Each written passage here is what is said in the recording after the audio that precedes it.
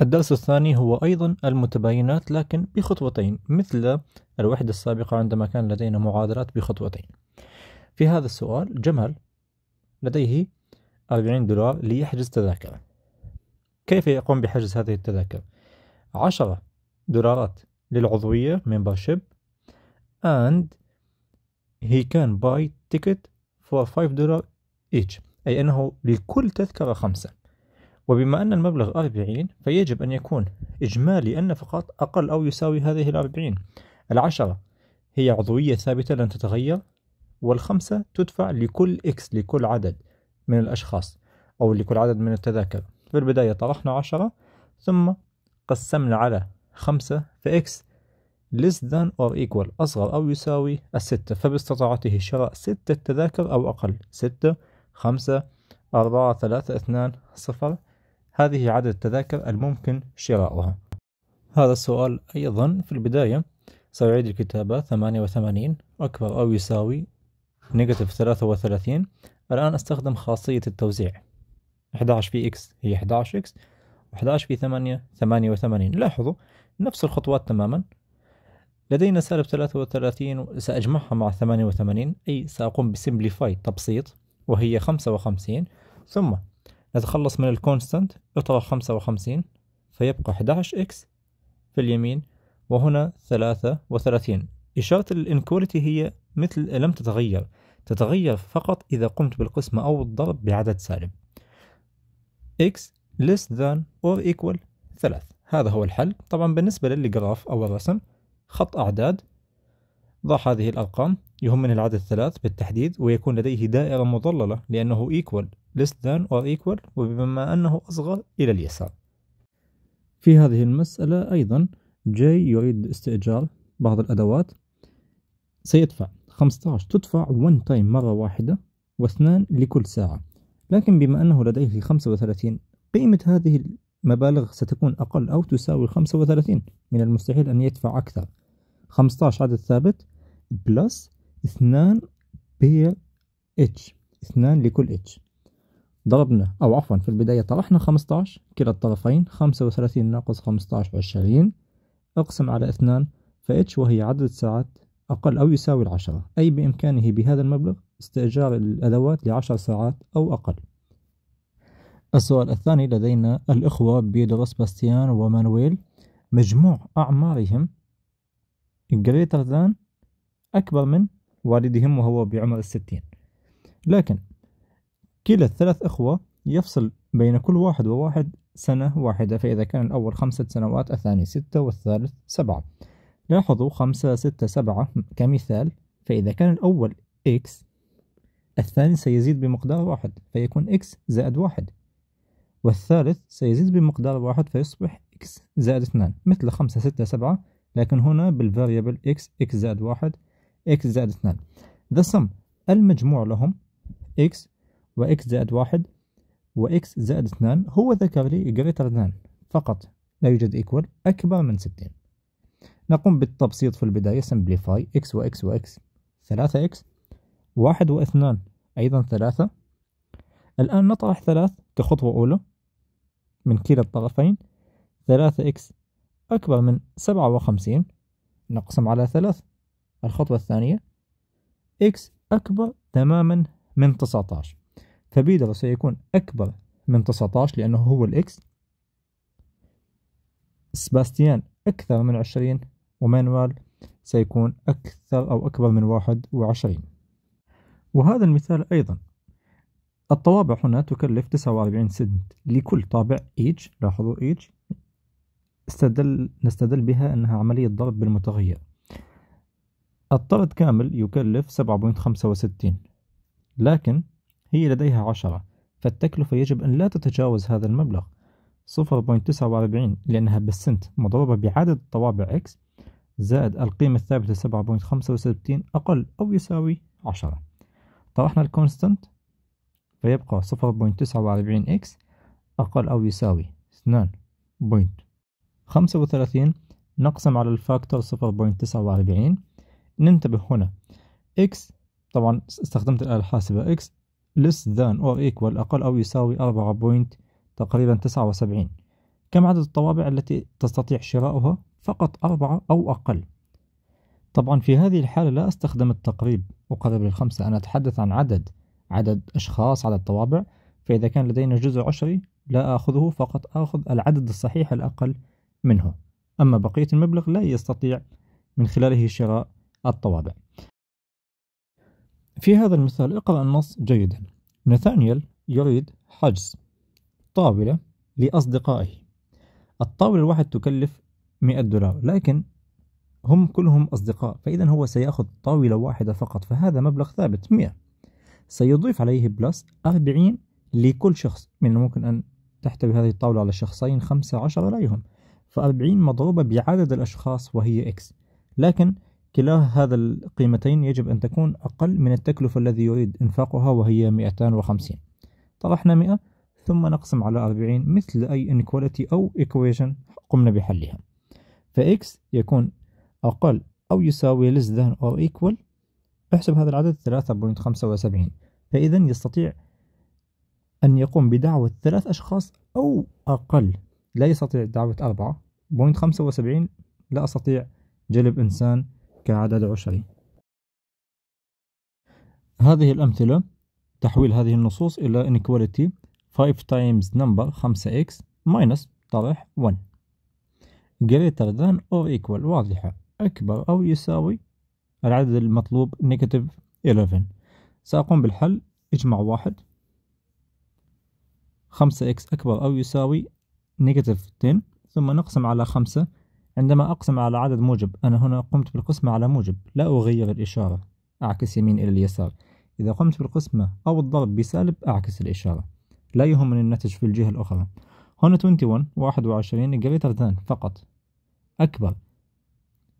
than the sum. أكبر من مجموع. فهنالك عملية جمع بين حدين. وهما 15 15 بلس 2 times number. اثنان في أي عدد مجهول x. في البداية أطرح العدد الثابت. فاثنان x أقل من ستة.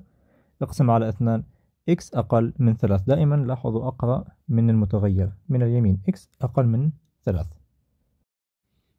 السؤال الثامن. negative 9 greater than or equal. أكبر أو يساوي the sum. أيضا لدينا حدين.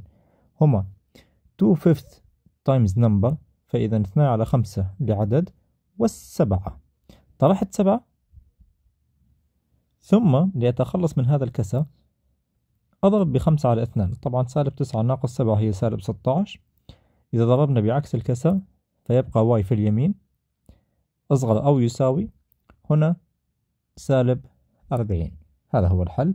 طبعا أنا أقوم بحل من دون رسم. الرسم على خط الأعداد بسيط. السؤال التاسع number أي مجهول؟ divide by 8 اكتب y mx لا يهم فنعيد number. Y divided by 8 مقسوم على 8 minus 13 is greater فقط أكبر negative 6 اجمع هذا العدد خذه إلى الطرف الآخر فيصبح زائد 13 ف y على 8 أكبر من موجب 7 لأن negative 6 plus 13 هي 7 نضرب بثمانية كلا الجهتين ثمانية مع ثمانية ف y أكبر من ستة وخمسين. هذا هو الحل. أه، السؤال التالي هنا السؤال الحادي عشر 37 less than فقط أصغر من من؟ The difference. فوضعنا إشارة الطرح في البداية. 7 and 10 times number عشرة في أي مجهول.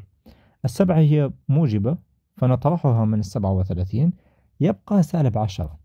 الآن هذه الخطوة عندما نقسم على سالب عشرة تعكس إشارة ال inequality ف y أقل من سالب ثلاث.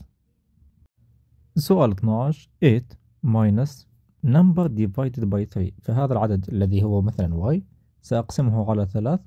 greater than or equal واضحة أكبر أو يساوي 11 في البداية دائما نحذف العدد الثابت. هو موجب ثمانية. إشارته في يساره دائما. إذا أخذناه إلى اليمين يصبح ناقص ثمانية. فحداش ناقص ثمانية ثلاث. هنا يبقى سالب واي على ثلاث. نضرب بسالب ثلاث. ليس ثلاث لأنني يجب أن أحذف الثلاث مع السالب. ولأنني ضربت بسالب فعكسنا إشارة ال inequality ف y less or equal negative 9 بعد ذلك سنأخذ هذه الأسئلة لأن بقية التمارين نفس الفكرة. سؤال 16 نحتاج الخطوة الأولى distribution خاصية التوزيع. سالب ثلاثة في سبعة سالب واحد وعشرين والسالب ثلاثة في ثلاث سالب تسعة. سأقوم بجمع واحد وعشرين n لكي يكون ال n كله في اليمين. فهنا يبقى سالب تسعة أقل من سبعة وعشرين n الجمع أو الطرح لا نعكس إشارة الانيكواليتي فقط في القسمة والضرب. الآن نقسم على سبعة وعشرين فإن أكبر من سالب ثلث. وسؤال سبعتاش واحد وعشرين أكبر أو يساوي الثلاثة نضربها بالإيه والسالب سبعة. باستخدام خاصية التوزيع. فيكون لدينا واحد وعشرين نبدأ بالكتابة. أكبر أو يساوي ثلاثة A ناقص واحد وعشرين زائد تسعة. نقوم بسمبليفاي أو التبسيط. سالب واحد وعشرين وزائد تسعة هي سالب اثناش. ثم نجمع اثناش لأتخلص من هذا العدد. فيبقى في, اليس في اليمين ثلاثة A هي أقل أو يساوي ثلاثة وثلاثين. اقسم على العدد ثلاث. ف A أقل أو يساوي 11 دائما أفضل أن تقرأ من جهة ال variable. وبما أن الإشارة تتجه لل 11 فإذا ال A هي الأقل. انتبه لسؤال 18 فكرة مختلفة تماما. 2A زائد 4 الاثنان أضربها بالثلاث وال y فستة زائد 2 y. خاصية التوزيع. سأقوم بطرح 2 y. من اليمين ومن اليسار. طبعا هنا هم كلاهما متساوي. إذا طرحنا 2 y من هنا ومن هنا سيحذف كلا الطرفين فيبقى أربعة أكبر من ستة. هنا انتبه هل الأربعة هي أكبر من ستة؟ بما أن هذه الجملة خاطئة حسابيا فإذا ليس لدينا حل. No solution عكس السؤال 19 تماما. ثلاثة في اثنان وثلاثة في b. ستة ناقص ثلاثة b أقل. عشرة ناقص ثلاثة b زائد 18 لأن الثلاثة في ال b والثلاثة في ستة. سالب ثلاثة b والسالب ثلاثة b حذفناها. ستة أقل من ثمانية وعشرين. بما أنها جملة صحيحة فالحل هو جميع الأعداد الحقيقية. All real number. وفي السؤال عشرين بطريقة مشابهة في البداية استخدمت التوزيع. اثنان ضرب t واثنان في ثلاثة هي ستة. سأطرح t لكي تكون ال t كلها في اليمين. سأخذ هذه ال t أي طرحناها. وبما أن ستة زائد اثنان هي ثمانية سأطرح ثمانية من كلا الطرفين فيكون ال t في اليمين والأعداد في اليسار. ففي اليمين يبقى t لأن اثنان t ناقص t وفي اليسار سبعة ناقص ثمانية هي سالب واحد. ف t أكبر أو يساوي سالب واحد. هنا ثمانية اي اثنان في واحد اثنان اثنان في خمسة ناقص عشرة a أقل أو يساوي عشرين. ال a في اليسار والأعداد في اليمين. فثمانية a ناقص عشرة هي سالب اثنان a اطرح اثنان فعشرين ناقص اثنان هي موجب عشر طبعا. نقسم على سالب اثنان ولأنني قسمت على عدد سالب negative اعكس الإشارة. A أكبر أو يساوي سالب تسعة. سنأخذ سؤال ثلاثة وعشرين بما أنه يحتوي على كسور. هذه التمارين كلها مشابهة ومن الممكن كتابة كتابة في التعليقات إذا كان لديك أي سؤال. بما أنه لدينا مقام سأتخلص من المقام عن طريق الضرب بنفس المقام أي سأضرب بستة. طبعا أضرب من اليمين واليسار. فحذفنا المقام 2 x ناقص 4 في اليمين استخدم خاصية التوزيع. 6 في سالب 5 سالب 30 x و6 في 2 هي 12 سأجعل الإكس في اليسار. بما أن هذه الإكس سالبة فأجمع لها 30 أو أخذناها إلى الطرف الآخر. 2 x زائد 30 x هي 32 x هنا ناقص 4 خذها إلى اليمين فيساوي 16 اقسم على 32 كلا الطرفين x يساوي أو x أكبر أو يساوي النصف.